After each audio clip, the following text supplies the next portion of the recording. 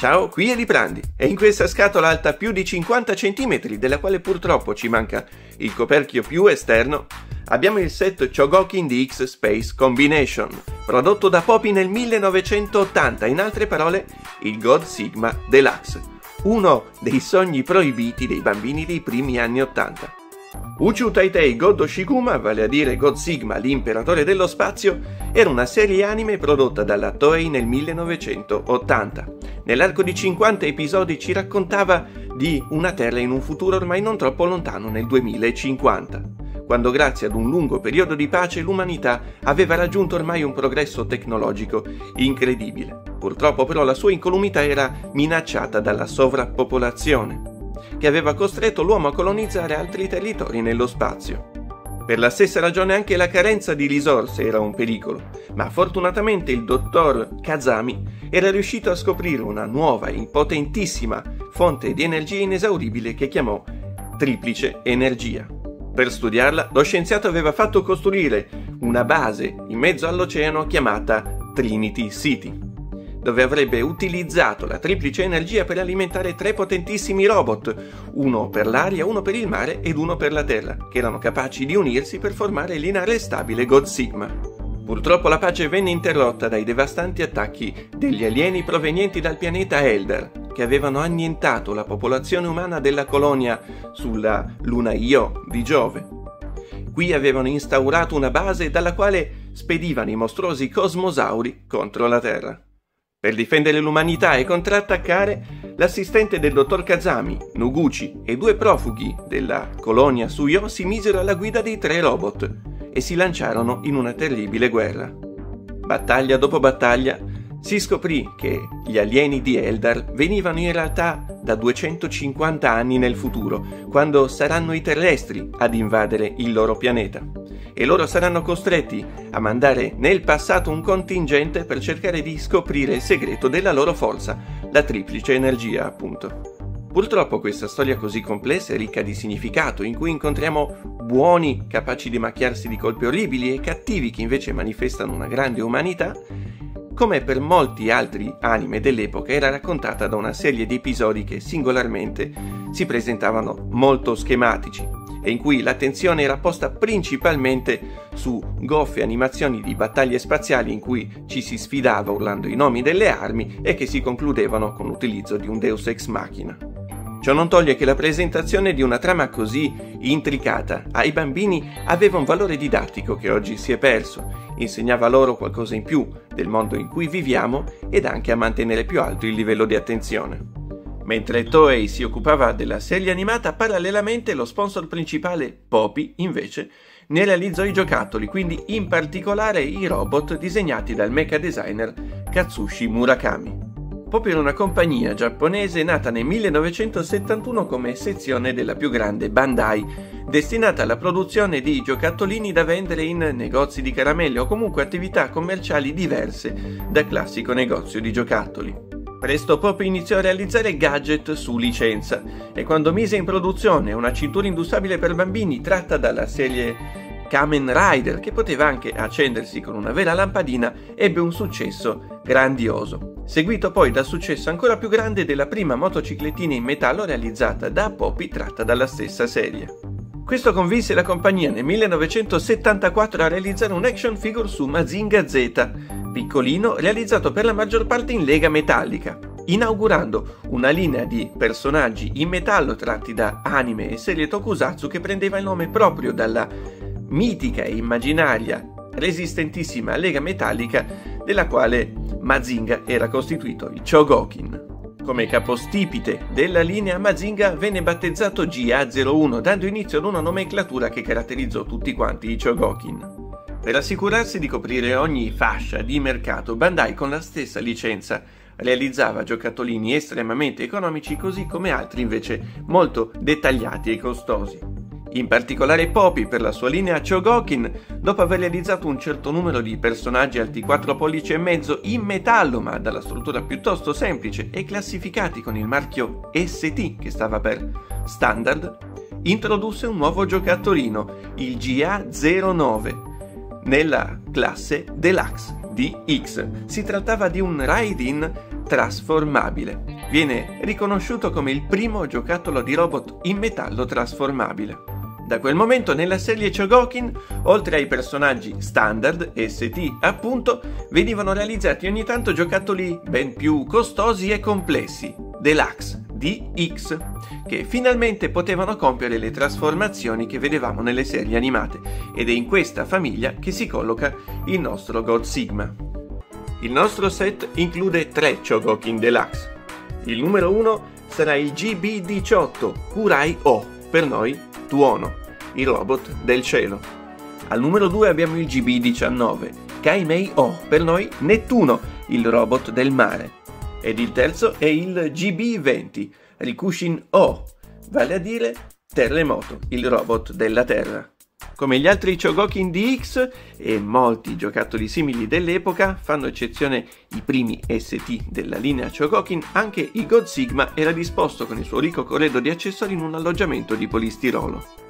E finalmente vediamo i robot, iniziando dal principale, Kurai O, per noi Tuono, guardiano dei cieli codificato come GB18 un robotone alto quasi 20 cm in metallo e plastica, in particolare metallo lo troviamo nel torace e nelle cosce. Esistevano fra i Chogokin di Poppy e la produzione di altre compagnie dello stesso panorama robot con più parti in metallo, ma non significa necessariamente che fosse una condizione migliore. Il metallo dà soddisfazione al tatto ed è bello pesante, ma non ha flessibilità, non dà attrito e i colori vengono via adesso molto facilmente, quindi non è la scelta ottimale per le parti mobili. Le parti in plastica del robot sono prodotte molto bene, di buona qualità e stampate bene. Questo era uno dei tratti che distinguevano i Chogokin di Poppy e anche i robot Takara, forse ancora di più, da una buona parte dei robot prodotti da altre compagnie, cioè la qualità delle parti in plastica. E il God Sigma Deluxe era forse uno dei robot con la scelta di materiali più sofisticata e funzionale. Le sue antennine, ad esempio, sono in gomma flessibile. Se fossero in plastica rigida si spezzerebbero, non si piegherebbero e giocandoci salterebbero via nel giro di pochi minuti. Insomma, queste parti in gomma non erano indice di pigrizia da parte della compagnia, al contrario, erano uno sforzo produttivo in più finalizzato a produrre un giocattolo più resistente. Smalto nero, rosso e bianco sulle parti di metallo e un sacco di pittura metallizzata invece sulla plastica nera si è un pochino consumata sul nostro, forse il sudore delle mani dei bimbi che ci hanno giocato negli anni. Giocattoli come questi sono difficilissimi da trovare nuovi o in condizioni veramente ottime. Il nostro è messo già molto bene. Un bel diadema applicato qui sul petto, invece queste parti qui gialle sono in plastica effettivamente gialla, non sono state colorate dopo.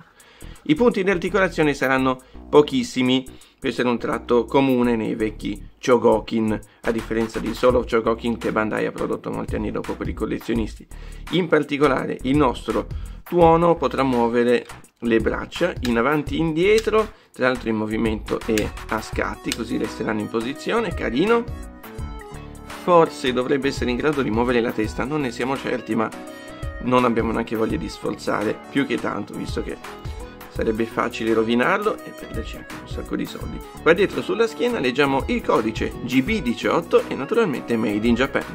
Ci sono altre parti mobili nel giocattolo ma non servono a dargli pose particolari, saranno parte della trasformazione. Custoditi dentro i suoi piedi troviamo i pugni della formazione più grande, i pugni del God Sigma. Per tuono abbiamo delle armi e iniziamo da questa estremità in plastica cromata che possiamo inserire nei forellini che ha sulle spalle a destra e a sinistra mettiamolo pianino da una parte e dall'altra queste gli serviranno per sferrare quello che nella serie animata era tradotto come colpo del tuono.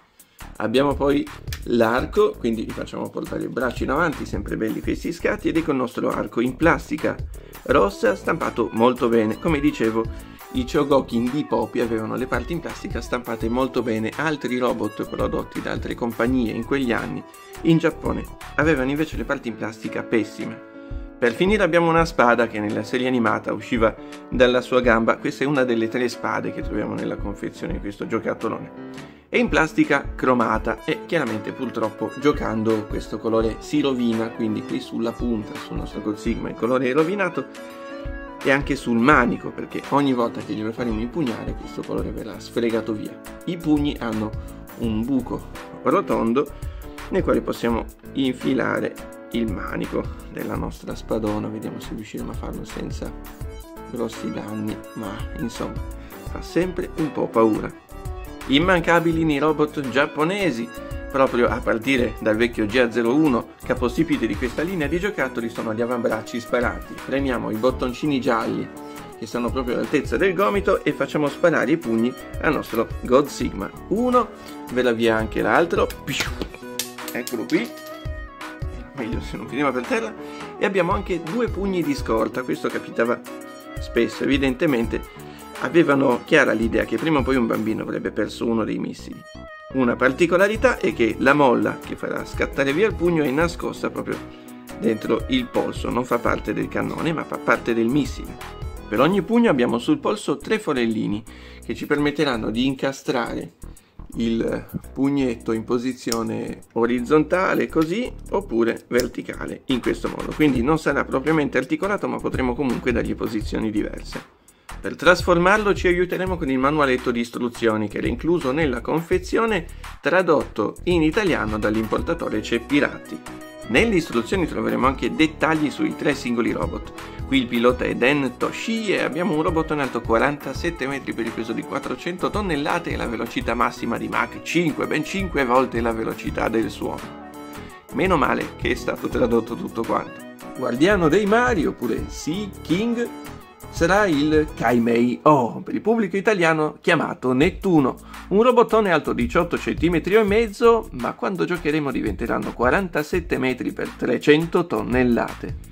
Il secondo robottone del set è dunque quello blu e giallo fondamentalmente, ma ci sono applicazioni di pittura e inserti in plastica cromata che danno un sacco di dettagli molto molto belli. Di nuovo in metallo e plastica, questa volta il metallo è limitato alla parte inferiore delle gambe e non è una scelta insensata.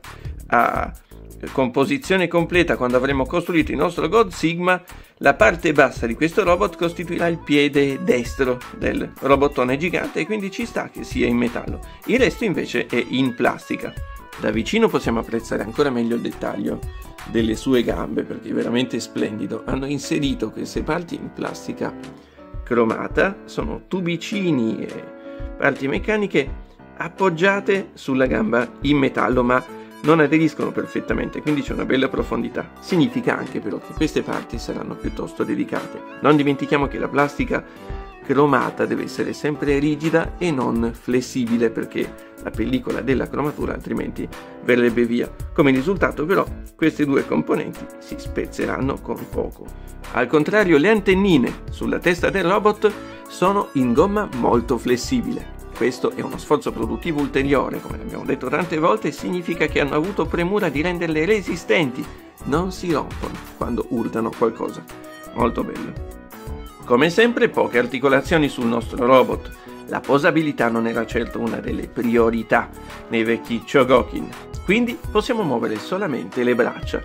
Però queste si muovono parecchio, le possiamo muovere in avanti e indietro con movimenti a scatti molto ampi, significa che ci sono poche posizioni nelle quali riusciremo a sistemare il braccio, però risulta molto bello al tatto.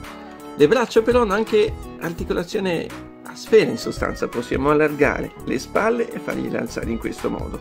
Insolito. Oltre a questo possiamo ancora piegare i suoi gomiti. Quindi qualche movimento in più del solito noi lo apprezziamo i giunti su questo robot sono molto molto rigidi, io non ho nessuna voglia di sforzarli perché, ripeto, si tratta di un giocattolo ormai molto costoso e soprattutto se vogliamo trovarlo in condizioni così buone. Anche il nostro GB19 rimane coerente con la tradizione di robottoni Chogokin e di nuovo possiamo fargli sparare i pugni, anzi in questo caso le mani perché sono pronte per impugnare qualcosa, non sono strette le sue dita.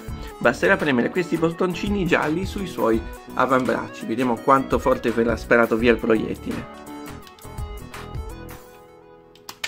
Beh, non tantissimo nel suo caso, questo significa fortunatamente che non dovrà andare a cercare la sua manina sotto al tavolo. Uh, l'altro è partito molto molto più forte. C'è ancora una funzione meccanica per il nostro Nettuno ed è la possibilità di sparare via il ditone del suo piede destro. Questa qui è una fessura, un buco, possiamo infilarci dentro il ditone, incastrarlo e poi premendo questo bottoncino giallo lui potrà spararlo via. Abbiamo due accessori per il nostro Nettuno. Uno è quella che nel doppiaggio italiano era chiamata probabilmente catena roccia, questa specie di mazza ferrata, una specie di frusta, realizzata in una gomma molto flessibile, quindi di nuovo complimenti a Poppy che aveva scelto il materiale in maniera funzionale e perfettamente adatta per frustare i nemici. È nera ma ricorda decisamente nella forma l'accessorio, l'arma che il personaggio utilizzava nella serie animata. E poi abbiamo questa specie di fiocina in plastica rossa abbastanza rigida. Decidete voi se si tratti dell'arpione o della balestra cosmica, mi sembra che siano piuttosto simili tutte e due con quella punta tridente. Terzo ed ultimo robot del set, non direi gift set, visto il prezzo, sarà il protettore della Terra, il Rikushin O, per noi terremoto, codificato da Poppy come GB20. Un altro robottone alto 47 metri per 300 tonnellate ridimensionato a 18 cm e mezzo per entrare nella nostra scatola. Per simmetria con la gamba destra del God Sigma, anche qui abbiamo un robot quasi interamente in plastica, il metallo è concentrato nella parte bassa delle gambe, insomma i suoi piedoni, e sarà utile visto che questi saranno i piedi del God Sigma e dovranno bilanciare un robottone molto più alto. È bello toccare un giocattolo in metallo, ma gli effetti collaterali li vediamo sulla punta dei piedoni del nostro Rikushin O è andato via un po' di colore perché lo smalto da questi metalli viene via al primo urto purtroppo. Ed anche le antennine sulla sua testa fortunatamente sono in gomma molto molto flessibile. Ed anche le articolazioni sono le stesse del suo compare. Possiamo muovere le braccia in avanti e indietro con movimento a scatti, possiamo allargare le sue spalle e piegare i suoi gomiti ed anche Terremoto potrà bombardare il nemico sparandogli addosso i suoi pugni. Lo faremo premendo i bottoncini gialli sugli avambracci. Vediamo se riusciamo a spararli entrambi, così scopriremo anche con quale violenza verranno proiettati via. Uno e due. Non male, sarà abbastanza per abbattere magari un personaggio in vinile molto leggero e per simmetria premendo questo bottoncino giallo sul suo tallone il GB20 sparerà via il ditone del suo piede sinistro. E molto lontano anche. Il set include ancora due armi. Abbiamo il trapano, questa specie di trivella che sarà gigante considerando che il nostro robot è alto 47 metri e trovo appropriato mostrarvela insieme al robot che si occupa della Terra.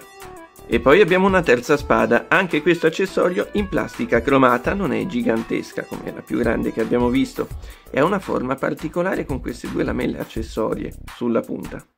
A questo punto vediamo l'aspetto più atteso del nostro robottone, l'aspetto più giocabile, e cioè la sua trasformazione. Per metterla in pratica potremo fortunatamente usare il libricino delle istruzioni che abbiamo in versione tradotta in italiano da Ceppirati e qui dentro anche che abbiamo trovato le informazioni sui robot che lo compongono. Per ognuno di essi ci viene anche detto il nome del pilota.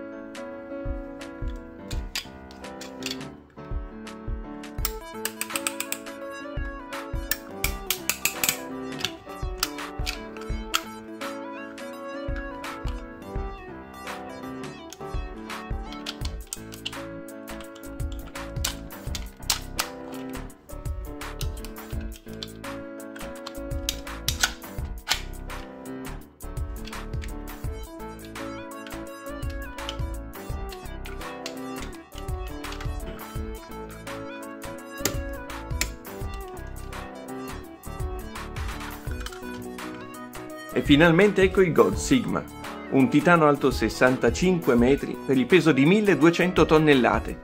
Il nostro robottone invece è alto 26 cm. Oltre ai dettagli che abbiamo già visto sui tre robot che lo compongono, si aggiungono quelli dello zainetto alato, il Big Wing in plastica colorata con adesivi metallizzati.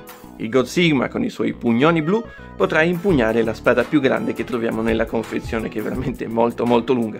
E come articolazioni, beh, ha le articolazioni delle braccia che abbiamo già visto nel robot singolo Tuono. Esteticamente l'unica nota negativa di God Sigma è la presenza di questi piedoni avanzati nel retro delle sue gambe. Per il resto la trasformazione dà molta soddisfazione ed è ingegnoso il modo in cui siano riusciti a compattare il corpo di tuono allargandogli le spalle e trasformandoli in un torace ben più massiccio e a ridurre gli altri due robot a parallelepipedi che poi fungono da gambe. Che si trattasse di un giocattolo di fascia molto alta è reso evidente anche dagli agganci fra le varie componenti. Nulla è affidato all'attrito e per separarle sarà necessario premere pulsantini a molla. Per quanto ci fossero altri Chogokin con più metallo, in realtà il nostro God Sigma risulta alla fine un giocattolone da quasi 8 etti e nel complesso anche ben bilanciato perché la maggior parte del peso è concentrata proprio nei piedi, quindi questo ne aiuta l'equilibrio. Insomma, il nostro God Sigma Deluxe è veramente un giocattolo splendido, esteticamente presenta benissimo ed è esattamente quello che avremmo voluto sognare quando guardavamo il cartone animato da piccoli. È coloratissimo, non manca veramente nessun dettaglio tra l'utilizzo delle cromature, delle parti in metallo, degli adesivi metallizzati, l'aspetto è fantastico, molto sofisticato. Mettere insieme questa recensione è stato piuttosto impegnativo perché ci sono un po' di componenti da mostrare, alcuni meccanismi e tutto quanto è piuttosto delicato e molto molto costoso, quindi avevamo veramente paura di rovinarlo. Ciò nonostante, la nostra premura era quella di mostrarlo come un giocattolo e non come un oggetto da museo. Volevamo farvi vedere tutte le sue funzioncine, tutte le parti mobili, tutto ciò che avrebbe usato un bambino giocandoci negli anni Ottanta. Il God Sigma Deluxe era un gran bel giocattolo, delicato per forza con queste parti cromate, ma in realtà rispetto ad altri giocattoli dello stesso panorama studiato meglio in maniera più funzionale, le parti più sottili sono in gomma flessibile e il fatto che per separare le varie componenti si utilizzino dei pulsantini e non ci si affidi solamente all'attrito rende il giocattolo più duraturo. Abbiamo in serbo altre chicche simili da mostrarvi, con un pochino di pazienza, ma nel frattempo pensiamo e speriamo di avervi dato un video insolito, in generale, i giocattoli vecchi come questo vengono mostrati come rottami un po' malconci oppure semplicemente esposti in vetrina e si dedica più attenzione alle edizioni moderne, diverse da questa, realizzate per un pubblico di adulti e nostalgici. Noi dunque speriamo che il video vi sia piaciuto, in tal caso potete cliccare su mi piace, qui questo ci aiuterà molto, mentre invece cliccando sul bollino blu Librandi potrete iscrivervi al nostro canale dove troverete un'infinità di video dedicati alla storia dei giocattoli, ai giocattoli moderni, quelli del passato e anche curiosità diverse. Ciao!